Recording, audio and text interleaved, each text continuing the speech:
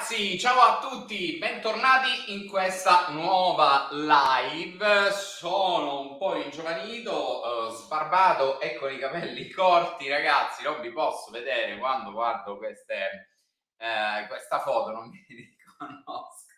Comunque, vabbè, ragazzi, allora l'ho sfoltito, faceva troppo caldo e, e mm, tra uh, un po' uh, di giorni penso che ricresceranno, come sempre ci do un taglio, lo sapete, di questa, in questo periodo. Allora, intanto ciao a tutti, benvenuti in questa live, fatemi sapere se si sente, tutto ok, eh, anche a livello insomma di, di, eh, di microfono, di audio, eh, eccetera. E, e, ovviamente come state ragazzi, non ci vediamo dalla uh, settimana scorsa, ci sono state alcune novità sui mercati, eh, soprattutto il dato di ieri dell'inflazione americana che è superiore all'attese, ma non così superiore tale mh, per cui insomma eh, diventa poi un problema. È proprio di questo che parliamo anche oggi.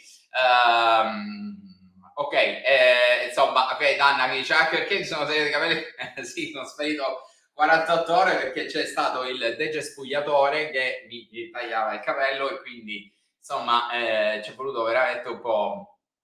Eh, un, po', un po' di tempo. Allora, ciao Enrico, si sente non benissimo, ma accettabile. Vediamo se c'è qualcosa che non va nelle impostazioni audio mi sembra un po' basso in effetti il volume, ma eh, non so se è possibile modificarlo, ma mi sa proprio di no da questa uh, applicazione. Vediamo un poco. Uh, allora ragazzi, facciamo così, provo a fare questa cosa qui. Allora, vediamo, vediamo. Ora dovrebbe andare molto meglio ragazzi. Fatemi sapere se va meglio adesso eh, perché dovrei aver riacceso il microfono, quello vero, quello mm, buono. Eh, ok, sì, adesso va meglio. Ok, allora perfetto. Va bene, ragazzi. Allora ci siamo.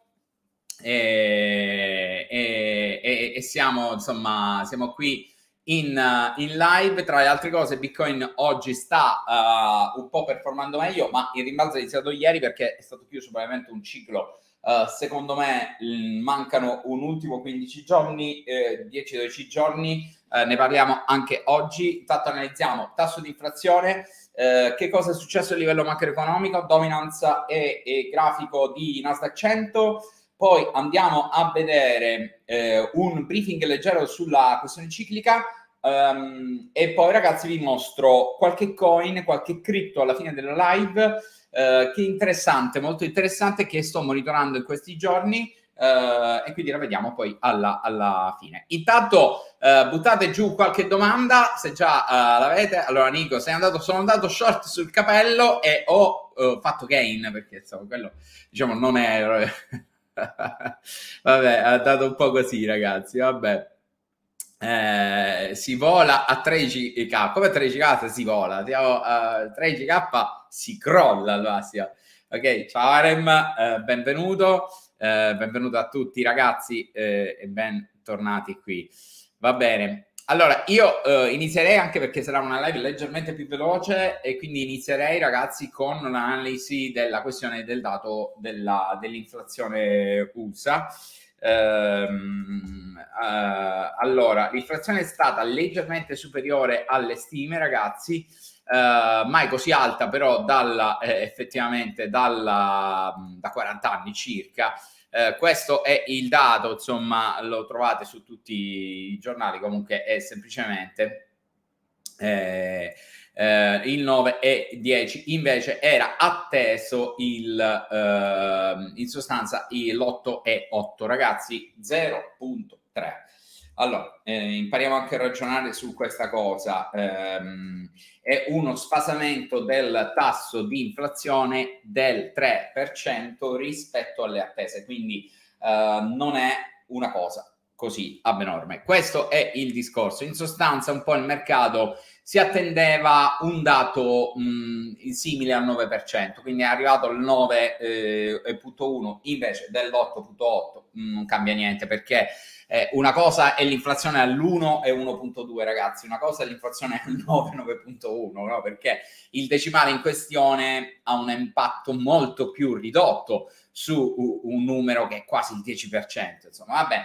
quello che invece ha un significato molto più rilevante è il fatto che siamo al massimo dell'inflazione da uh, circa 40 anni. Allora, primo punto um, in questione, eh, perché siamo arrivati a questa storia? Perché è, mh, mm, ragazzi, uh, un dato sinceramente mh, mm, non strano, in quanto probabilmente, allora qui mh, insomma si entra poi nei famosi complottismi, in quelle che sono le, le opinioni Facciamo così, ragioniamo in termini di domanda, così poi voi vi date le risposte. Eh, se io ho una delle maggiori economie del mondo, come la più grande del mondo, come gli Stati Uniti, e una delle più grandi, come l'Europa, eh, che hanno prodotto i più grandi economisti della storia da sempre, eh, che spiegano che l'introduzione di dazi, sanzioni alle nazioni e costi eh, impattanti soprattutto sui trasporti delle materie prime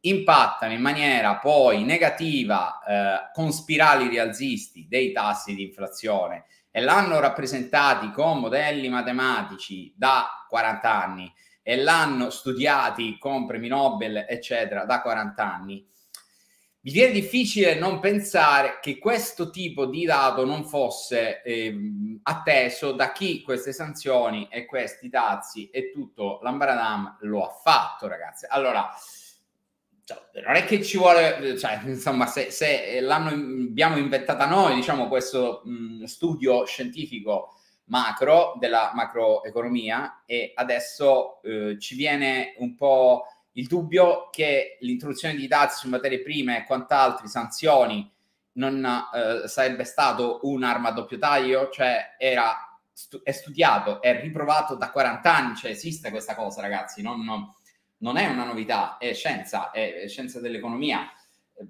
lo trovate dappertutto, una cosa del genere, trovate, potete leggerlo voi stessi nei libri di macroeconomia. Adesso a me viene strano che i capi di Stato, i più grandi uomini politici, non fossero a conoscenza di questo problema. Ma, ma davvero? Ah, ma guarda, guarda un po'. Vabbè, allora, detto questo, eh, io penso che, eh, penso che la questione sia da um, ragionare infatti in base a, alla sostanza che questa inflazione fosse voluta, ragazzi. Secondo me è un po' per ri calibrare tutto il mondo occidentale verso una nuova fase totale dopo la pandemia, cioè una nuova fase che è quella che abbiamo visto, probabilmente tassi crescenti, inflazione galoppante, svalutazione dei salari reali, non so se qualcuno di voi sa cosa significa, e, e impatta anche una cosa del genere sul PIL, ragazzi, perché l'inflazione aumenta anche la produzione, aumenta il PIL, tutti quelli che saranno le imprese che sono in questo momento svantaggiate è quello che volete, ma un domani che sono in grado di modificare la leva del prezzo, eh, usciranno da questa situazione indenni o addirittura in guadagno, mentre tutti quelli che sono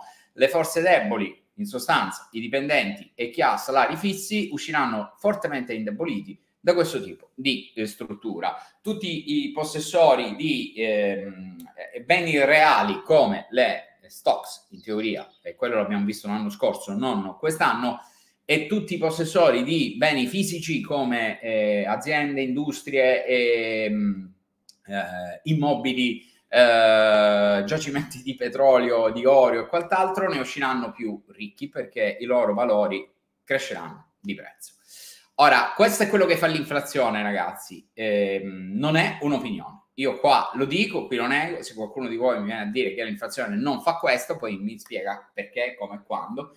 Quindi l'inflazione impoverisce i dipendenti e i, chi ha, non ha il controllo del salario ehm, e quindi della propria leva di salario. Poi magari si possono livellare, ma in sostanza si livellano con molta di, mh, difficoltà in pratica, ragazzi, l'inflazione dà un boom, un boost alla mh, fase produttiva nei prossimi anni e, e impatta ehm, invece in maniera eh, nel breve periodo in maniera negativa attraverso la recessione. Perché questo avviene? Perché la banca centrale eh, va a mh, togliere il denaro dai mercati, toglie il denaro dal mondo, prima o poi la spesa al consumo si fermerà i lavori di ristrutturazione, sviluppo nuove industrie, sviluppo nuove business si devono fermare perché non ci sono più i dindini L'indebitamento costerà molto di più, eh, quello nuovo, quello vecchio costa di meno,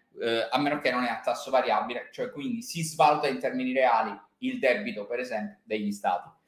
Um, e, e, però uh, se è invece a variabile, se è un debito che si paga a tassi variabili, no. Quindi i famosi CCT in Italia, per esempio, ragazzi, o i buoni, um, gli ultimi BTP Futura, quelli che erano linkati all'inflazione in Italia, per esempio.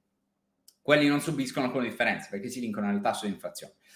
Uh, quindi in linea di massima, ragazzi, uh, questo è quello uh, a cui andremo incontro.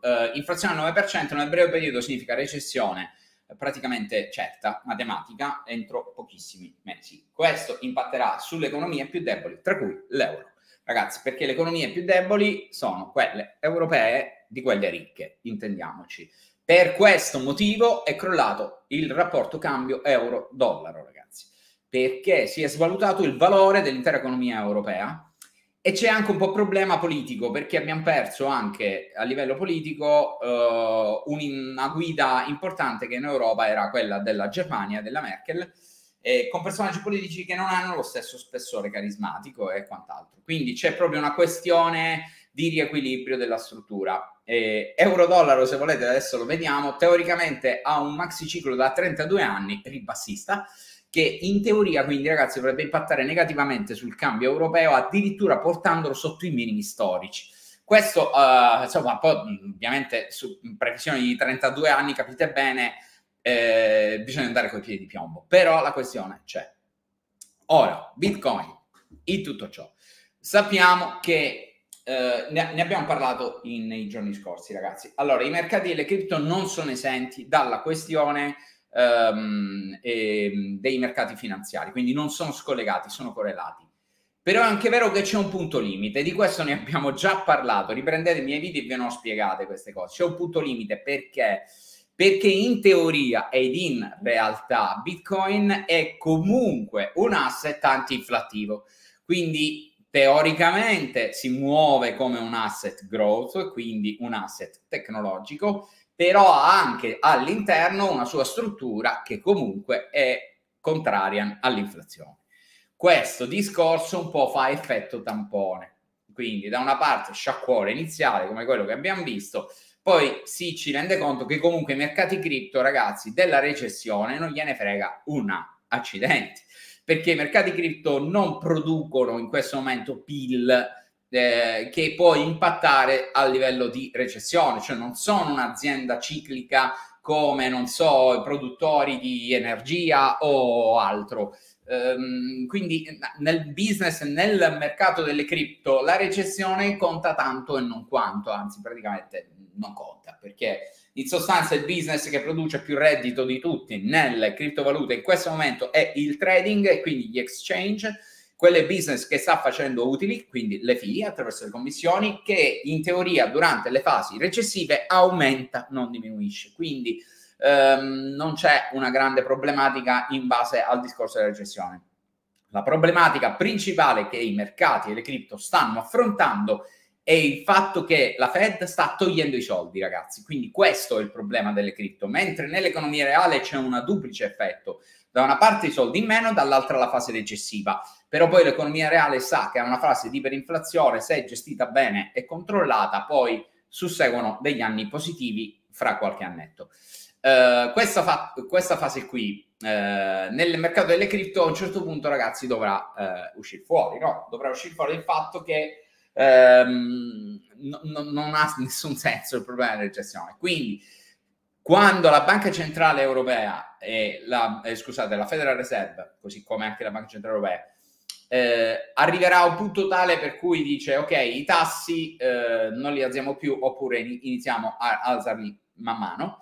I mercati cripto, ragazzi, non avranno più problemi da questo punto di vista, perché in realtà il vero vero problema dei mercati cripto è il rialzo dei tassi di interesse in questa fase. Ora, 9.1 invece di 8.8. Avete visto la reazione di Bitcoin immediatamente flash crash per la correlazione con i mercati classici, dopodiché re- recupero. Perché recupero? Perché in realtà, ragazzi, non è un'inflazione al 10,6. perché il problema è che il mercato, secondo me, si aspettava una inflazione molto peggio delle attese. Nel momento in cui hanno visto che in teoria è la stessa di quella che si ci aspettava, questo significa che la Federal Reserve farà la sua politica più o meno come il mercato attendeva, un rialzo di 0,75, un punto percentuale nella prossima riunione. Cioè era scontata questa news. Cosa succede a quel punto? Che i mercati delle cripto recuperano un po' e si riportano allo stesso identico livello di prima dell'uscita delle news. Questo sempre per il discorso, ragazzi, che le news non servono a niente perché in sostanza sono già scontate dal mercato. Questa era una delle news più importanti dell'intero 2022, ragazzi, e avete visto che praticamente non ha avuto alcun tipo di impatto. Va bene, quindi la eh, diciamo, eh, questo perché? Perché c'è sempre la valutazione del dato, quindi è vero, la questione dell'inflazione è più alta delle attese, ma è una, un più alto, tutto sommato, non troppo alto. Il mercato pensava peggio, questa è l'idea di fondo. Eh, probabilmente le prossime riunioni sui mercati delle cripto avranno molto più impatto, cioè i prossimi dati sulle inflazioni. Perché? Perché se i prossimi dati sull'inflazione dimostrano che, nonostante tutti i rialzi di tassi, la, la banca centrale, la Fed, non riesce a farla scendere questo tasso di inflazione, allora lì è un problema. Quindi si dovrà controllare soprattutto il tasso di inflazione del prossimo trimestre rapportato a questo trimestre, cioè il tasso di accelerazione e decelerazione dell'inflazione, non il tasso assoluto, perché il tasso assoluto i mercati lo guarderanno tanto e non quanto. Quindi ehm, se il prossimo trimestre dimostra che l'inflazione sta girando al ribasso, allora i mercati tireranno un sospiro di sollievo. Questo, secondo me, è il modo di vederla da un punto di vista dei mercati cripto, non mercati hold. Mercati hold, tutto un altro discorso, è più complesso lì. Va bene, quindi questo è il motivo del perché insomma Bitcoin è così. Ora questo significa che da qui non scendiamo più? Assolutamente no. Significa che l'impatto del dato dell'inflazione nei mercati cripto non c'è.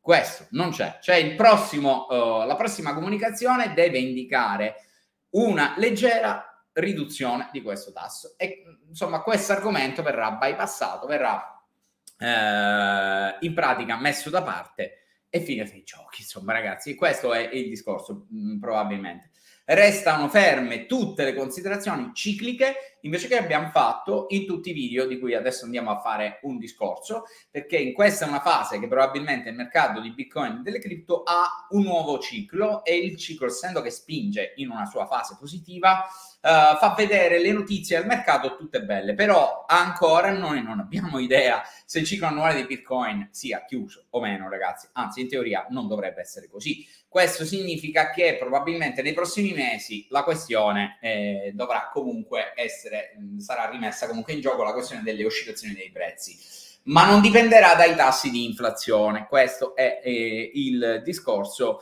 di cui vi sto parlando. Quindi la, l'andamento del tasso di inflazione eh, e del risultato del tasso di inflazione sui mercati delle cripto, eh, secondo me seguirà prossimo, la prossima indicazione e soprattutto seguirà eh, l'andamento su questo trimestre qui, ragazzi. Quindi non a livello annuale, non su base annua, ma il tasso di decelerazione. Per cui se il tasso di eh, inflazione dimostra un meno 2% rispetto a questo trimestre, i mercati la prenderanno bene.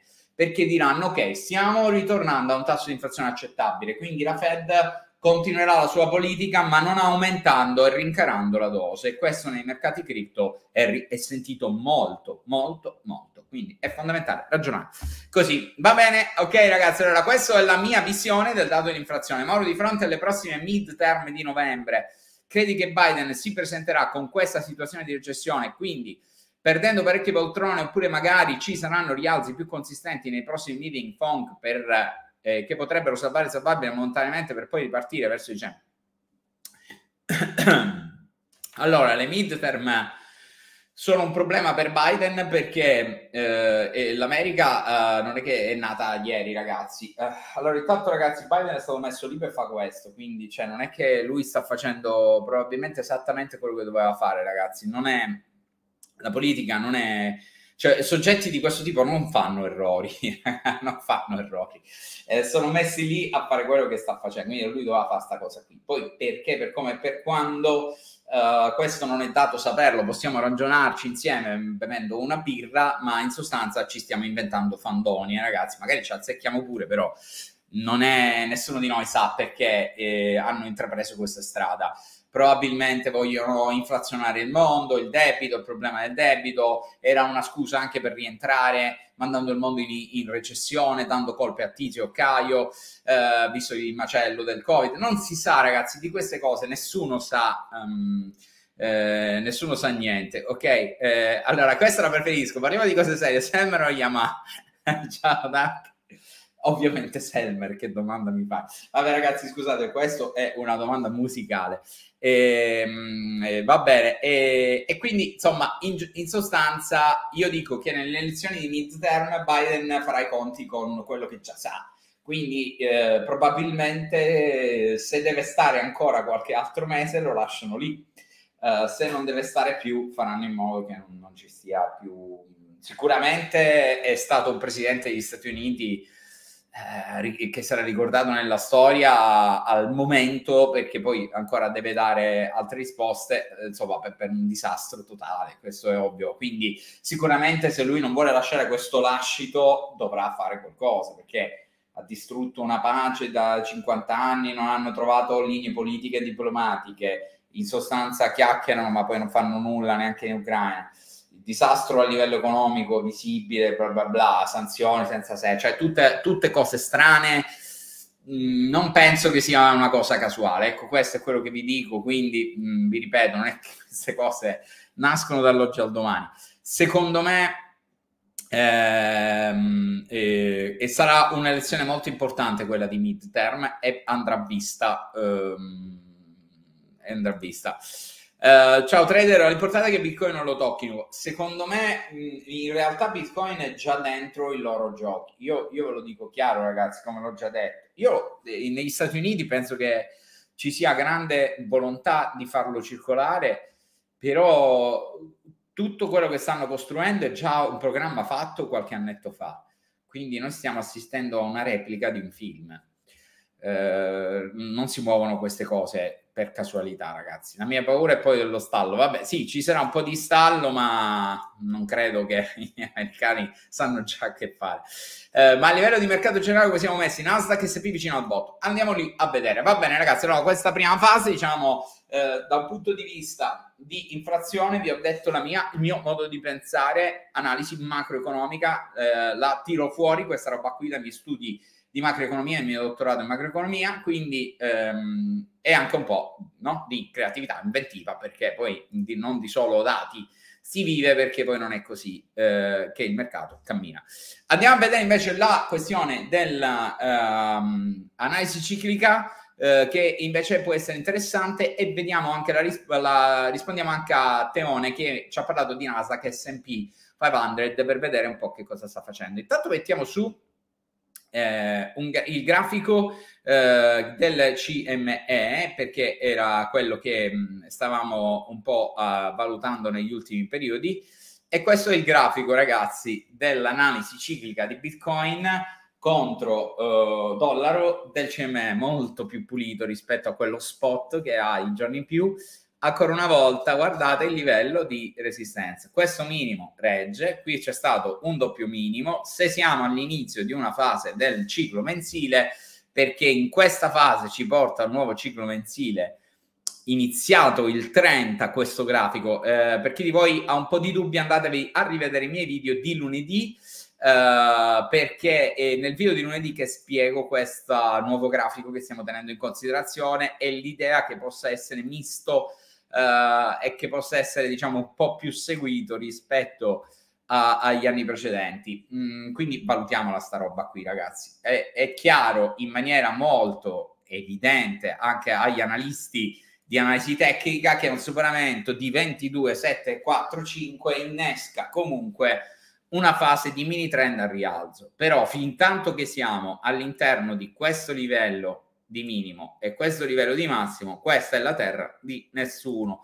Quindi in pratica qui succede up and down, in pratica niente ragazzi, ok? Trading e basta, non fa nulla, il mercato è fermo, però dal punto di vista ciclico teoricamente questa è una seconda up, una seconda gamba che potrebbe dimostrare che questo ciclo, se è così costruito sul grafico del CME e quindi del future che sta chiuso venerdì e sabato, potrebbe avere questo tipo di struttura, quindi una forma ternaria con il massimo nella campana centrale o giù di lì e che quindi Bitcoin potrebbe in sostanza tentare di riavvicinarsi ai 22, fermo restando che se qui non è stato chiuso un ciclo superiore almeno un trimestrale o l'annuale ovviamente, qui si va a ritoccare un nuovo minimo.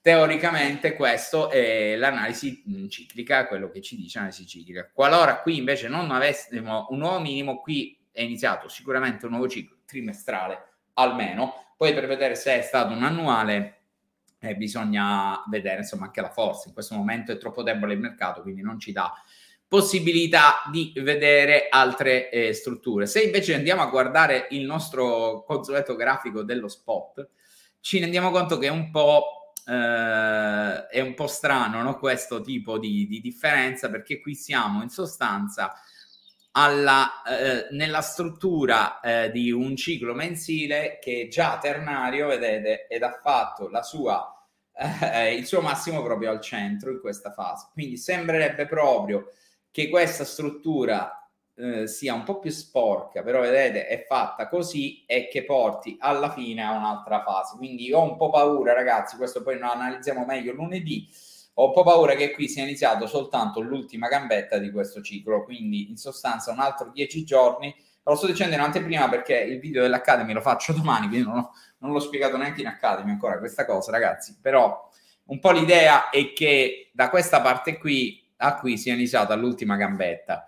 Quindi in sostanza non mi fido molto di questo rialzo, seguiamo il trend, eccetera. Tra l'altro le mie operazioni di eh, long eh, sono uscite la scorsa mh, mm, lunedì, mi pare, eh, dopo l'ultimo ribasso, quindi in stop loss questa volta, infatti ho, ho fatto un no comment perché prendiamo lo stop loss ragazzi, va bene, eh? ok, facciamo così, soprattutto in questi periodi e basta, vabbè, ci, ci sta, ci può stare, ci mancherebbe però dà sempre fastidio. E, e, e quindi uh, in sostanza, dal punto di vista ciclico, questo rialzo io me lo fido ben poco, ragazzi. Vediamo dove va. È una para di congestione al momento e quindi eh, non, no, non, è eh, facile insomma dare dei, delle strutture. Anche Ethereum è uguale, vedete, ha la stessa identica struttura. Sembra proprio un ternario classico che è, dovrebbe essere più lungo per far combaciare poi la... Mm, struttura ciclica a quella dell'altro grafico, che è questo qui, che invece vedete ha una struttura decisamente più lineare. Andiamo a vedere invece Nasdaq, che qui non abbiamo il dubbio se eseguire uno o l'altro. Eh, allora, c'è una domanda sulla ciclica, eh, la, la analizziamo. Quando dici che manca, quanto dici che manca alla fine del ciclo mensile? E eh, allora, ti faccio vedere delle date, perché eh, intanto te le faccio vedere qui le date. Allora, qui se noi lo, lo teniamo lungo accettabilmente in base ai cicli precedenti, per esempio, questa struttura eh, basata ovviamente non sulle shadow ma sulle close, l'ho fatto così, eh, basato più o meno sulle close, eh, questa struttura ciclica ci porterebbe intorno al 5 agosto, quindi alla fine del mese di luglio, la chiusura di questo ciclo. Quella che invece è seguito, la, la, la struttura normale, quella, ehm, eh, facciamo così, perché mi sa che ho fatto un danno cancellando un indicatore. Eh, ok, eh, quella che è la, uh, la, struttura qui, ragazzi, eh, invece indica una fine del ciclo mensile tendenzialmente più vicina, intorno al 25 di luglio. C'è da dire però che pre- nelle, nei cicli precedenti Bitcoin non è che abbia fatto dei cicli mensili puliti, anzi li ha sporcati e non poco. Quindi qui non si capisce moltissimo la questione. Ora, se andiamo a vedere un ciclo annuale che è iniziato a luglio, abbiamo 186 giorni di semestrale più 182 che vanno a chiudersi il 23 Però come ben sapete ragazzi, già se arriviamo a 186, vedete siamo al 27, se allunga di qualche giorno si va a eh, diventare sinergico con quello che vi ho fatto vedere qui e quindi in pratica si livellano tutti entro la fine del mese di luglio. Secondo me il mercato tenterà questa strada, cioè andrà eh, a um, sinergicamente ricercare dei minimi in chiusura, magari non in shadow, verso la fine del mese di luglio per unire sia la ciclicità del future del, del Bitcoin sia la natura del eh, invece mh, di sabato e domenica dello spot. Uh, un po' il dubbio è questo, quindi questa struttura ciclica iniziata proprio il 14 dovrebbe avere appunto una durata di 14-15 giorni per andare a fine mese di eh, luglio a fare la naturale conclusione. Poi vediamo perché nelle fasi finali, ragazzi, di un ciclo importante come un annuale, i cicli inferiori come i giornalieri, i settimanali, e valgono tanto e non quanto, perché se spinge un nuovo annuale e vuole andare su, è ovvio ragazzi che l'annuale è, è forte, quei 40-50 punti al rialzo li può fare, quindi insomma magari insomma, ci dà un, un po' di soddisfazione. Starei attento perché al momento di conferme non ce n'è neanche una, quindi a, andare a ragionare in questo modo, in questa fase, e vuol dire anticipare troppo i mercati e rischiamo di farci male. Ieri eravamo a 18,9, ora siamo a 20,3, il mercato sta producendo rumore, oscillazione che solo un trader può sfruttare.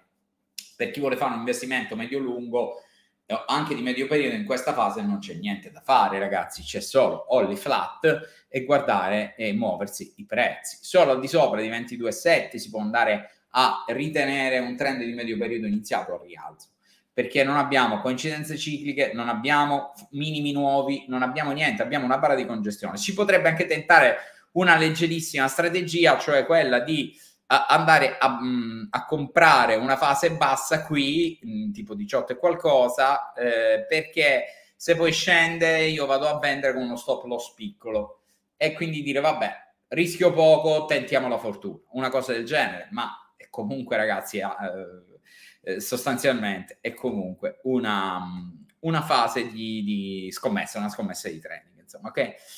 Uh, allora, Duke dice accumulazione, crederci fino all'albing. Allora, non si fa così l'investimento, è sicuramente simpatico dirlo perché crederci è figo, ma è proprio il modo in cui perdi praticamente tutto. Eh, in sostanza mh, è meglio evitare di ragionare in questo modo, potresti avere ragione x volte, n volte nella vita, eh, però poi alla fine dei giochi questo mindset non ti premierà perché il giorno che sbagli è finita la giostra, perché comprando contro trend il problema di fondo è proprio ragazzi che si va incontro alla cosiddetta mh, eh, processo di eh, non mi ricordo mai il nome, morte statistica, non mi ricordo del tre, non mi ricordo il nome, perché in pratica una volta che i mercati scendono troppo, recuperare eh, i precedenti massimi che magari avevi accumulato diventa impossibile.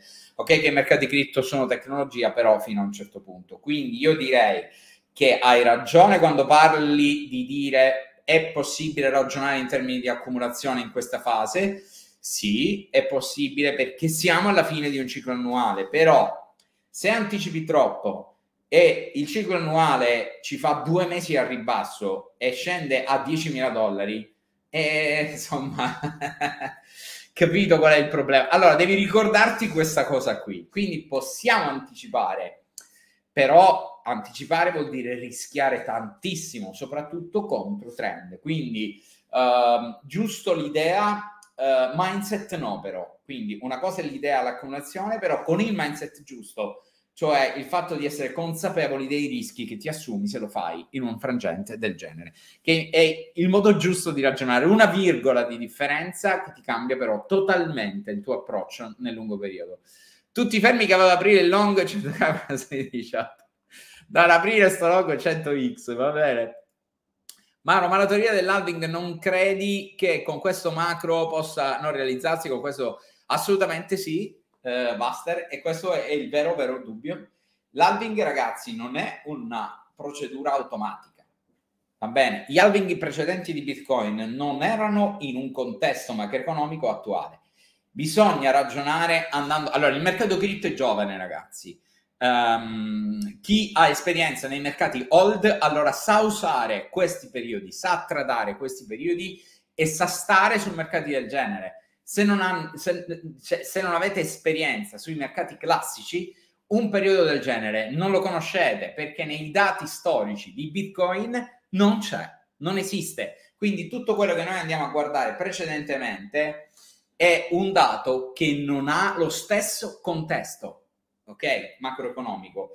Eh, perciò andiamo a supporre che si ripeta uguale? Stiamo facendo un errore statistico. Se voi avete studiato statistica, chi di voi l'ha studiata sa che andare a prendere un campione che non è più rappresentativo, cioè i dati storici di Bitcoin passati, e, e, e piazzarli sul dato futuro è un errore palese di, di, di, di uh, matematico-statistico, ragazzi. Non si fa perché sono cambiate delle logiche, quindi bisogna tenerne conto. Non vuol dire che i dati storici non li prendiamo più in considerazione, quindi l'alving non avrà più effetto ma magari sarà smussato da un clima macroeconomico che gli toglie le fondamenta. Questo è il problema, quindi noi dobbiamo andare a vedere questi nuovi dati che per la prima volta saranno visibili anche ai criptoinvestitori. La prima volta, ragazzi. Va bene? Questo è il discorso, questo è quello che ci aspettano nei prossimi anni. Vediamo che cosa fa il mercato cripto. Così come abbiamo visto ieri, come ha reagito all'inflazione, ragazzi. Io vi ho dato le mie idee. È la prima volta che abbiamo un'inflazione del genere, è la prima volta che Bitcoin affronta un'inflazione del genere.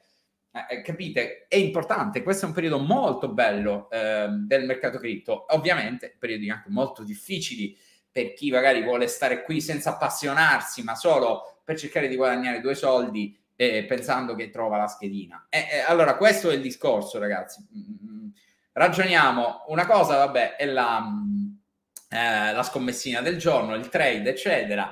Una cosa è ragionare conoscendo questi mercati. Io, come sempre vi ho detto, appassionatevi a questi mercati, perché quello è il vero lungo periodo. Se volete soddisfazione nel lungo periodo nella vostra vita da investitori, in tutto quello che fate, appassionatevi ai mercati finanziari. Studiateli i mercati finanziari, ragazzi. Non pretendete guadagnare domani da un mercato finanziario. Allora, quello vi dà soddisfazione nel lungo periodo ed è la vera soddisfazione, quella che vi cambia la vita.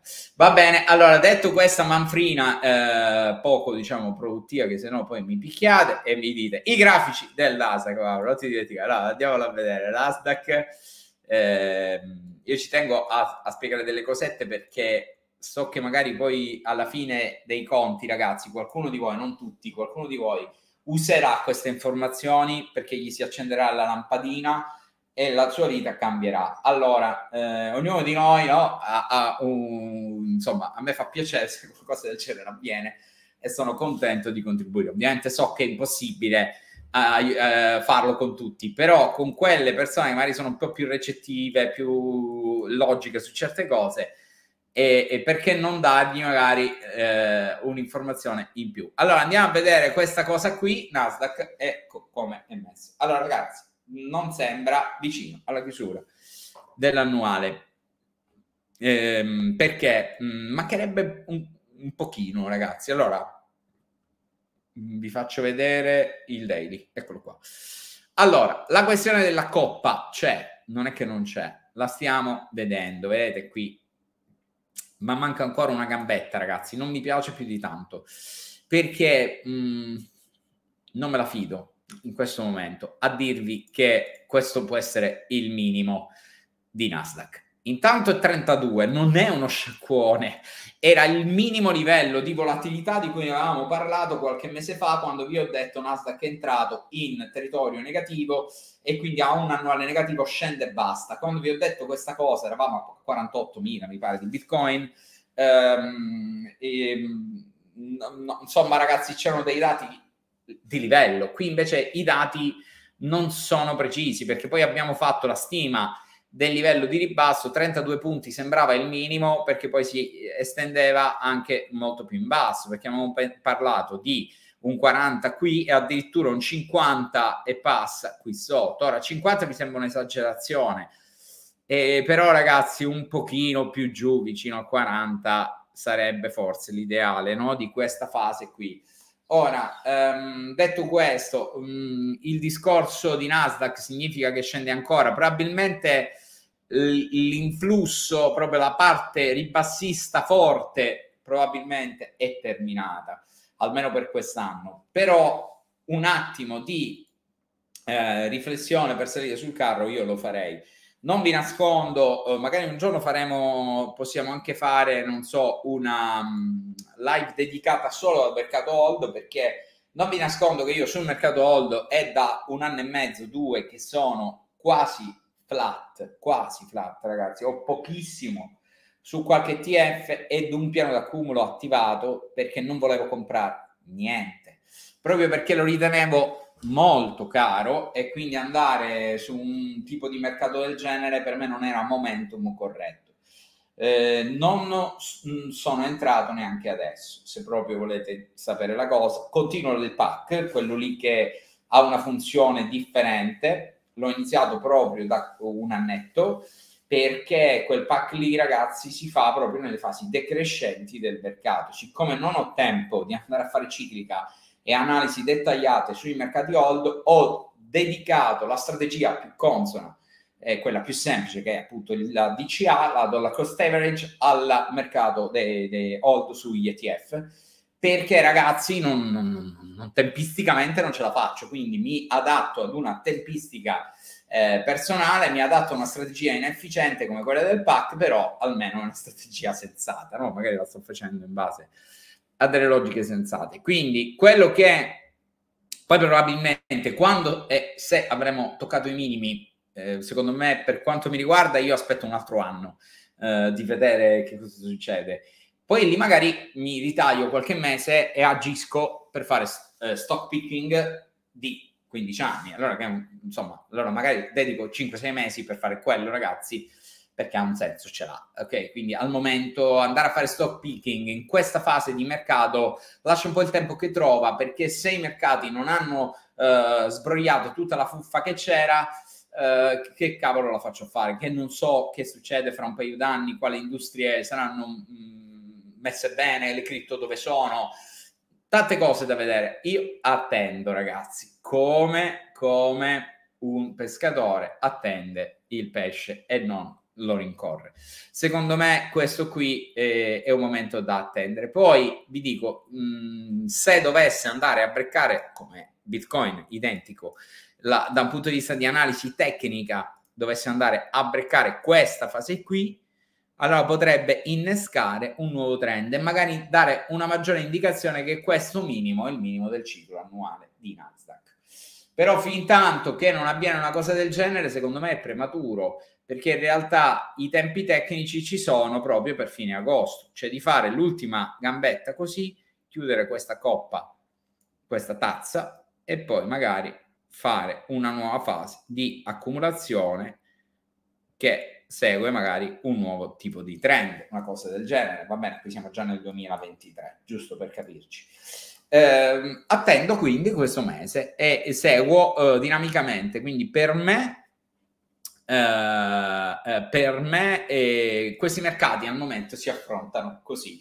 Eh, ripeto, è un mio consiglio, non è un mio consiglio ragazzi perché io sono molto prudenziale e sono estremamente ehm, un trader estremamente ehm, eh, trend follower, cioè non mi piace anticipare in nessun modo, quindi per, non, non, ho il problema di comprare sui minimi, quindi eh, adattatevi perché spesso io entro molto tardi sul mercato e, e questo è personale, ok? Ognuno di noi ha nostra, il nostro modo di agire, ragazzi, va bene? Uh, detto questo, uh, direi di andare a fare poi un briefing invece su delle coin che mi sono piaciute tanto in questa fase. Vi faccio vedere qualche grafico. Ne abbiamo parlato l'altro giorno e vi avevo fatto vedere i grafici, del, um, eh, gli ultimi grafici che avevo mostrato, cioè quelli eh, delle cripto, quelle iper speculative che erano assolutamente da uh, stare molto molto attenti. Quindi quelle high risk. Alcune di quelle stanno mm, eh, muovendosi in maniera interessante, ve le rifaccio rivedere, ma poi ne aggiungo un'altra invece che è una top cap che mi piace tantissimo. Um, ciao, allora cosa ne pensate della tematica? Era proprio di quella che volevo parlare, eh, ragazzi, quindi eh, aspettate due minuti perché è proprio Matic che entra uh, e che è di oggi ne, ne mm, eh, parliamo anche appunto di, di, di questa cripto. Tra le altre cose ho aperto un trade, ma proprio trade, eh, un longhettino che eh, stavo guardando proprio recentemente su Matic, ma una cosa da niente ragazzi, un'operazione giusto per divertirmi oggi, però la chiudo entro breve, va bene, eh, però l'ho, l'ho, aperto proprio per fare un po' di, di non lo so, anche io ragazzi ogni tanto ho bisogno di rimettermi a fare qualcosina che mi piaceva fare tempo fa, invece di fare video ogni giorno. Allora, questa cosa qui, vedete, eh, questo è R-Wave eh, ed è mh, mm, interessante perché sta anche lei performando seguendo questo trend. Invece Storj, vedete, ha fatto questa fase, si è eh, livellata lì, mentre Enz è interessante perché anche dal minimo qui, vedete, dopo il video è riuscito a recuperare, quindi sta facendo un bel giro. E la stessa identica Teta e, e, e TRB eh, che è ferma ancora sotto questo livello, ma attenzione perché entrambe, tutte queste coin sono strapiccole, quindi riguardate il video su quelle coin, su queste coin ragazzi perché è un video importantissimo in quanto se non sapete che cosa stiamo dicendo è che sono iper speculative, iper manipolabili, quindi non vi permettete di andare a prendere questa roba. Uh, se non avete visto quel video e, soprattutto vi ho spiegato in quel video che è solo trading questo e non c'è nessun tipo di eh, possibilità che sia eh, che, che, sia eh, diciamo gestibile attraverso position almeno non al momento. Allora andiamo a vedere invece Matic perché interessante è stato su Matic la sua struttura di prezzo ed è proprio a un livello che secondo me la fa rientrare mh, per eccellenza fra queste cripto eh, in questa fase. Proprio perché guardate un po' che cosa ha disegnato. Allora una struttura di ehm, eh, inversione interessante che però presenta il suo vero livello di eh, resistenza a 0.6869. Questa cosa è interessantissima perché c'è proprio in questo momento sopra ed è vicino. Ora abbiamo una forma anche che ciclicamente è un po' diversa dalle altre e vi dico la verità, ehm, probabilmente questa fase di Matic è una fase di breve periodo che non dovrebbe durare tanto. Comunque ciclicamente vi faccio vedere questa cosa qui. Allora, sembrerebbe aver chiuso una struttura ciclica da 330 giorni e quindi in sostanza mancherebbe un ultimo pezzettino, ragazzi che porterebbe questo tipo di eh, annuale lungo su Matic, su Polygon, a settembre. Quella che era la view eh, di cui abbiamo parlato qualche volta, ma che allunga molto i tempi, ragazzi. E cioè è come se questo tipo di mh, eh, grafico avesse fatto un ciclo in questo modo. Così.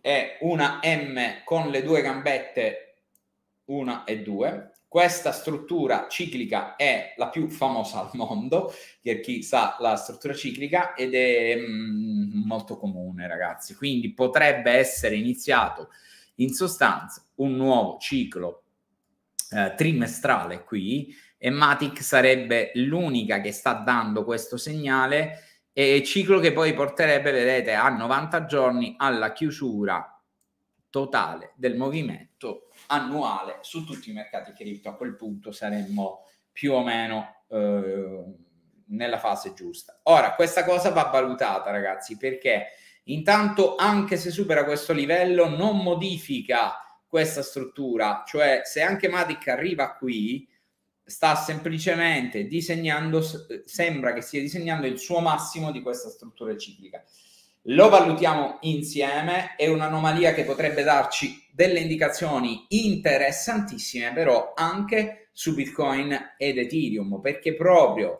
se questa cosa avviene è difficile che non sia la stessa forma ciclica anche su Ethereum.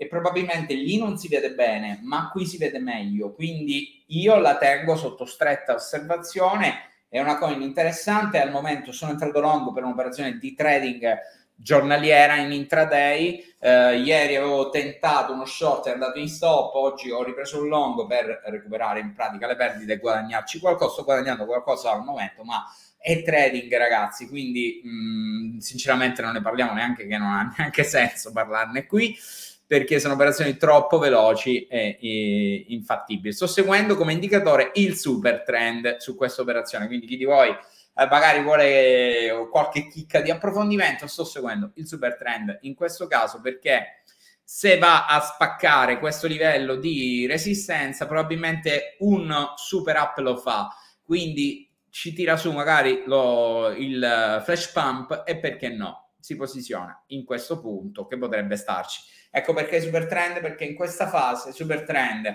potrebbe essere interessante in quanto il mercato se fa il break Matic fa un flash pump e quindi super trend non viene toccato non mi dà fa- falsi erro- eh, segnali in questo momento quindi veramente interessante una cosa del genere va bene allora detto questo passiamo alle domande anche perché fra pochi minuti eh, vi devo lasciare ragazzi quindi eh, e ci siamo. Allora, intanto sparate le domande.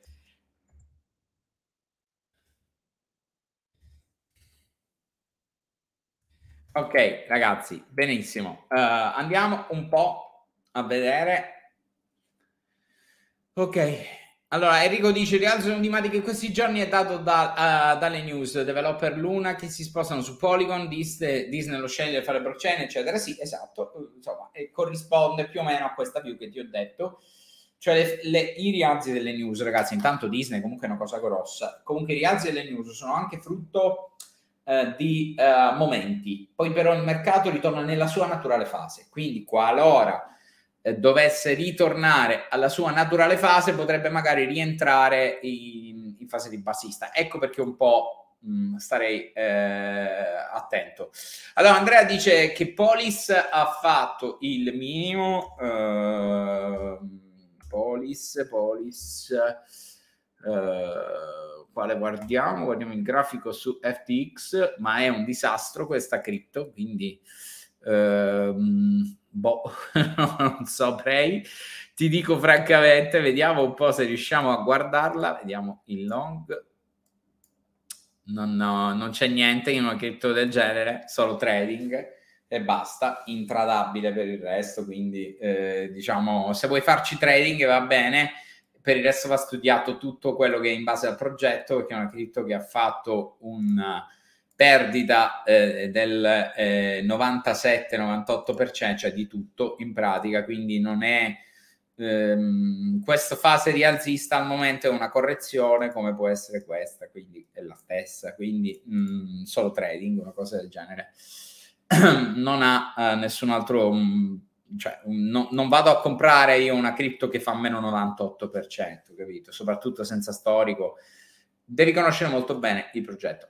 Allora, stai ancora utilizzando Nexo? Sì, sto utilizzando Nexo. Uh, sembrerebbe che Nexo abbia ancora tanto da dire. E, ehm, poi, ragazzi, su questo alla, la verità è che bisogna essere oggettivamente. Ehm, cioè ognuno si deve assumere le proprie responsabilità, direi così, perché la questione è, è, è difficile da comprendere su Next abbiamo quei dati del, dei loro ehm, depositi che possono essere facilmente visionati da Armanino eh, e quello è un'utilità. Eh, non hanno fermato withdrawal, non hanno bloccato i pagamenti e tutto il resto. Il token Nexo è fondamentale. Tanti anni fa, tanti anni fa forse no, comunque un annetto fa ho fatto un video dove spiegavo come si valutavano le eh, se fai e cos'era giusto andare a controllare per evitare problemi di schiaffoni in faccia. Uno di quei parametri era proprio l'andamento del token rispetto a Bitcoin e eh, in effetti dovremmo andare a controllare il token Nexo eh, rispetto a, a BTC e questo è il suo andamento. Quindi ha avuto una uh, fase, diciamo, di, di, ritracciamento rispetto ai massimi rispetto, che erano qui di, contro Bitcoin ed è sceso del 45% rispetto a, a, Bitcoin dove era prima però sui massimi di Bitcoin però come vedi in sostanza non è che tanto cioè siamo in questa struttura una specie di barra di congestione. Ovviamente è un token di una SeFi quindi giusto per farti vedere la differenza ti metto il Kronos um, contro Bitcoin. Per farti vedere ecco la, la, struttura dalle fasi di massimo per esempio Kronos Bitcoin. È vero che è salito molto di più però è sceso un, poco, un pochino di più. Però in sostanza è come se fosse simile all'andamento di CRO non ci vedo un andamento pericoloso come era per esempio quello di, di Celsius che è stato, adesso vabbè, recuperato, però è stato eh, rispetto ai massimi è stato giù del 97%, qui è in questa fase dell'86%, quindi anche adesso, a livello di come è adesso, rispetto ai massimi siamo comunque a meno 77, cioè ci può stare ragazzi, poi Celsius abbiamo visto che ha, ha, ha restituito i debiti di quelli eh, della Cefi, insomma, eccetera, della DeFi, insomma, eccetera, però in linea di massima eh, io ancora sto ragionando così su, su Nexo. Va bene, andiamo avanti. Uh, ciao Ciccio, non scrivere troppi messaggi, altrimenti poi ti dobbiamo bannare eh, perché intasi troppo la chat. Uh, ok, allora non pensi che il mercato non sia eh, in contratto ancora del tutto, che possa avere i picchi di discesa? Ne abbiamo parlato poco fa. Uh, tutta l'analisi di oggi è basata diciamo su questo. Abbiamo parlato anche della ciclica, quindi Uh, se hai visto la, la, la live dall'inizio, uh, hai già risposto a questa domanda. E, um, non è paragonabile a, a, nulla al 1929, anzi, non c'entra assolutamente niente. Perché il 1929 è stato una fase ribassista uh, in cui le banche centrali non avevano nessuna condizione di causa e non erano riuscite non riuscivano a controllare eh, i mercati. Rispetto ad oggi non c'entra niente. Che la fase sia molto critica è vero, ma nel 29 c'è stato la bank run nel mondo, quindi c'è stato quello che hai visto su Luna in pratica. Eh, hanno tolto la liquidità, quindi eh, paragonare un, um, un, anno come il 29 all'attuale è, proprio non c'entra niente, ragazzi, niente perché questa eh, non è una fase di eh, crash dovuta al fatto che l'economia non va bene. E non c'è depressione, ragazzi, c'è inflazione. Questo è uno shock inflattivo, non c'entra niente con il 29, è, è più vicino agli shock petroliferi degli anni 80, del 78 mi sembra una cosa del genere, ma non a, a, un, a, una crisi di bolla speculativa con il 29, cioè non, è, non, non siamo in problema di bolla qui, eh, perché i mercati, le banche centrali li stanno gestendo molto bene, quindi li fanno scendere controllati, in maniera controllata. Non c'è al momento questa fase, poi mh, mm, non, non ci vedo somiglianza, non so perché tirano fuori il 29 ogni tanto, ragazzi, ci può stare, però... Mm, non, non, mi pare che insomma ci sia questa somiglianza a livello macro. Cosa ne pensi dell'entrata in recessione dell'America ormai scontata dal mercato? Ciao trader, allora l'entrata in recessione dell'America penso che i mercati l'abbiano già scontata, eh, ma davvero? Ragazzi, questa neanche la commento perché... Va bene, penso che insomma sì, posso ridere per 40 secondi così è il vero commento a questo ma, ma è vero? Perché eh, come vai eh, diciamo era stato messo lì per fare qualcosa insomma ragazzi. Mauro cosa pensi dell'entrata recessione dell'America ormai scontata eh, dal mercato? Eh, penso che eh, la recessione il mercato quello che guarderà sarà il fatto che questa recessione sia controllata allora, gli stati occidentali hanno accettato praticamente di entrare in recessione facendo le politiche sanzionatorie nei confronti della Russia e i macelli senza senso, che al momento sono senza senso, poi probabilmente hanno un senso nascosto che non, eh, sappiamo, non ci hanno comunicato. E quindi ehm, l'idea di fondo è mh, probabilmente accettare la recessione per danneggiare eh, la Russia se non sono addirittura d'accordo, ragazzi. Io ve lo dico proprio chiaro, cioè, ho molti dubbi su tante cose, quindi bisognerebbe in effetti ragionare un po'. In pratica è l'accettazione dell'inflazione e della recessione di conseguenza. Però eh, c'è anche da dire che una recessione dovuta a un'impennata del, del PIL, del, dei prezzi così ampia, eh, la accettiamo perché non è una spirale recessiva questa, è una recessione indotta per controllare l'andamento dei prezzi. Il problema è se non lo controllano, poi la recessione avviene, però se non lo controllano l'andamento dei prezzi succede un disastro. Quindi, ragazzi, peggioramenti della guerra, eh, chiusure di riserve importanti, eh, entrata eh, da fazioni opposte di paesi produttori, Cina in primis, che farebbero impennare ulteriormente i prezzi dei beni perché la Cina produce beni consumer, ragazzi, oltre che business ovviamente, però anche dal lato consumer, non, non, allora ok la materia prima, ma se poi entra anche dall'altra parte la questione delle sanzioni sulla produzione cinese che cioè, fa alzare i prezzi anche per dire, non so ragazzi, de, de, delle scatole, de, degli oggetti, dei vestiti, di qualsiasi cosa succede un disastro. Cioè, e questo è il discorso. Allora, quelle sono eh, le eh, situazioni che secondo me devono assolutamente essere eh, controllate. Va bene? Quindi questo io la vedo così. Eh, secondo me i mercati la recessione attuale la vedono come una recessione controllata, un po' il tubo.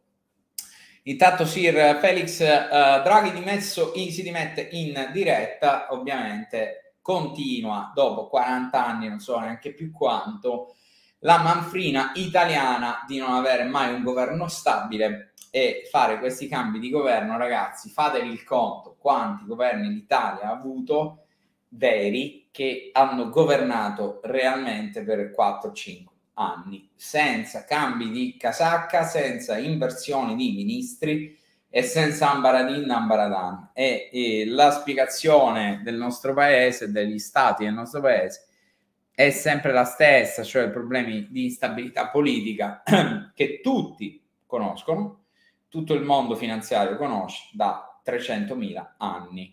Eh, Draghi, uomo insomma, di, di altissimo spessore economico, è indubbio questo, messo per fare delle roba che neanche noi abbiamo capito, ragazzi, nessuno ha capito, sinceramente. E finito di fare quello che doveva fare, l'hanno mandato a casa. Sempre il solito problema mi spiace a me, mi spiace questa cosa, però eh, è inutile perdere tempo a parlare di cose che, di cui ormai praticamente conosciamo vita, morti e miracoli.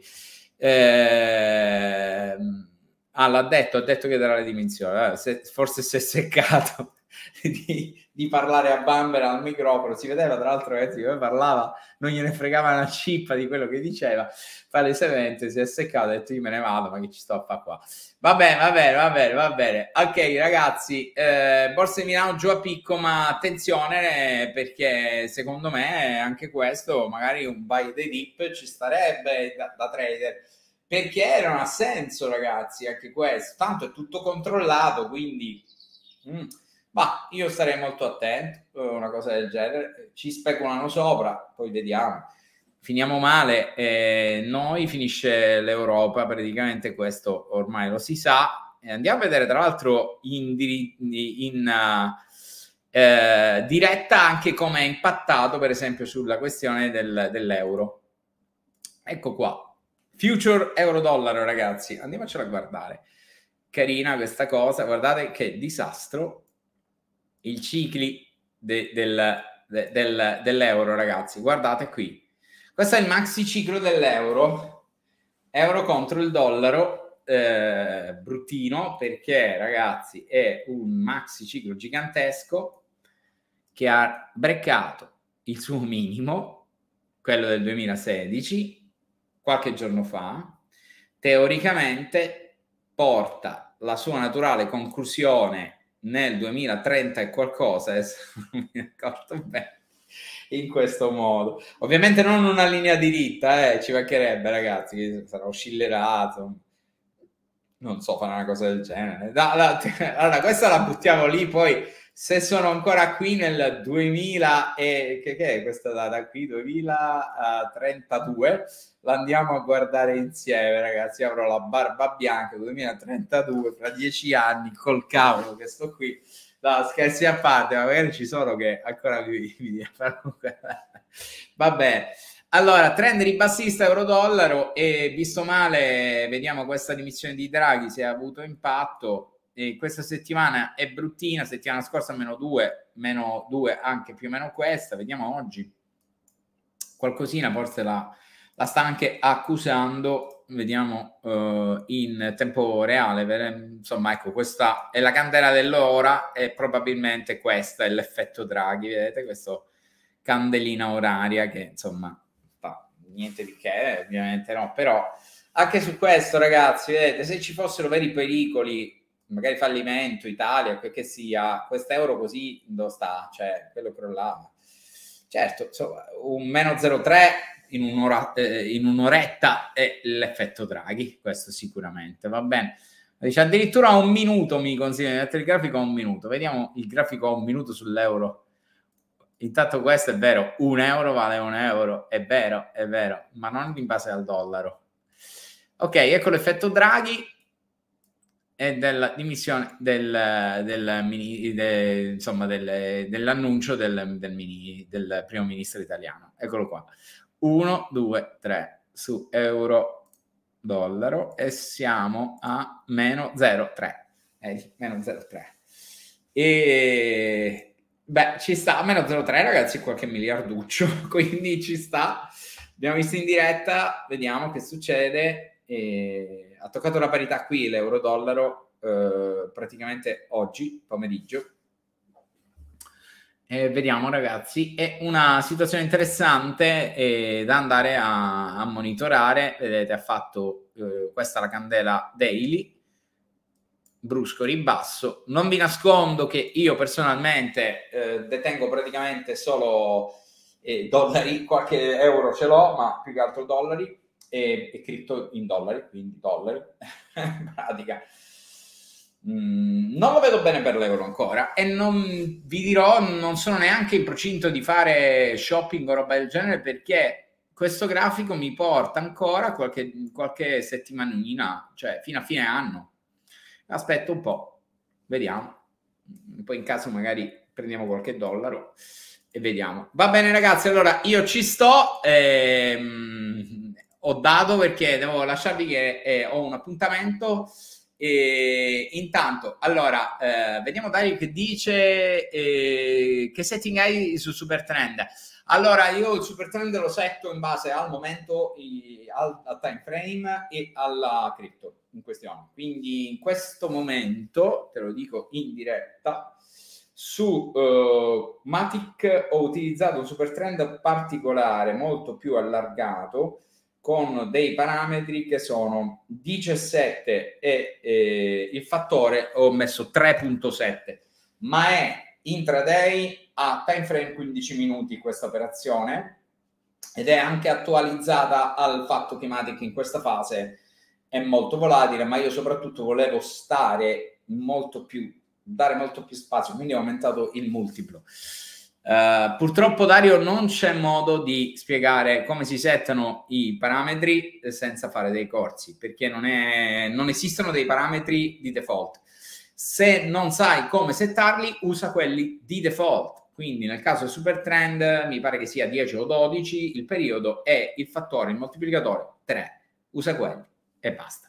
Perché tanto se non li sai modificare, cioè, fai più danni che altro. No? Quindi questo è. Va bene, ok ragazzi, ci siamo. Eh, detto fatto, eh, noi ci rivediamo nella prossima live. Fatemi sapere come sempre, cosa ne pensate della mia view di Bitcoin inflazione? Trimestre, eh, il prossimo trimestre, tasso di accelerazione dell'inflazione sotto i lente di ingrandimento, vediamo che succede. Per me è interessante questo modo di vedere eh, delle cose. Va bene, ragazzi? Ok, intanto Tre mi dice: Mauro, cosa ne pensi di ATR? Ve lo so, ATR è il mio indicatore preferito dopo l'RSI, quindi insomma, insieme all'RSI. Quindi, numero uno, ATR. Bella Matica qualche giorno fa mi ha fatto entrare in stop e poi ha fatto: Ah, eh, questo non te lo. cioè, accettalo perché soprattutto le cripto con grande volatilità ti beccano stop e col cavolo poi, vabbè. Comunque, eh, ragazzi, va bene. Allora, noi ci rivediamo nella prossima live. Grazie a tutti e, e, e bye bye. Lasciatemi qualche domandina, come sempre, sotto il, i video quando li pubblico anche su, eh, sull'altro, sull'altro. Ciao, ciao a tutti.